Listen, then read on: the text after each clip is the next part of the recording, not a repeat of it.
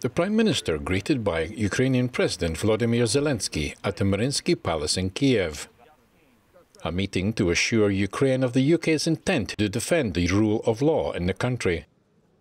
Ahead of his arrival, Johnson posted on Twitter As a friend and a democratic partner, the UK will continue to uphold Ukraine's sovereignty in the face of those who seek to destroy it.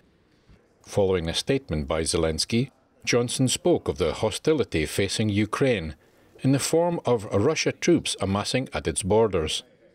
It goes without saying that a further Russian invasion of Ukraine would be a political disaster, a humanitarian disaster.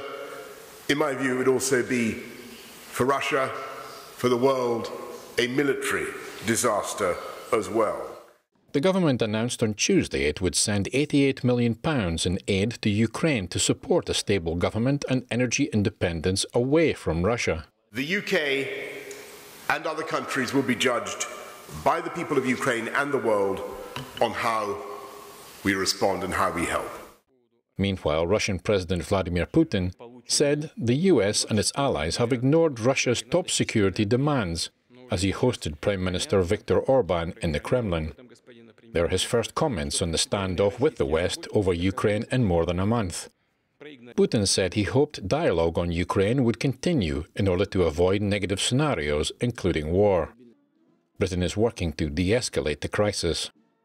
On a separate visit earlier on Tuesday, Defence Secretary Ben Wallace met with his counterpart at the Croatian capital Zagreb.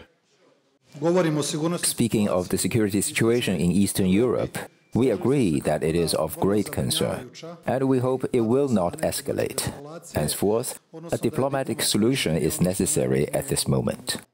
Wallace said NATO, the European Union, and Britain all hold that Ukraine's sovereign territory must be respected. He said Britain will defend the country's right to self determination. The United Kingdom stand shoulder to shoulder in defending the right of sovereign countries to choose their destiny.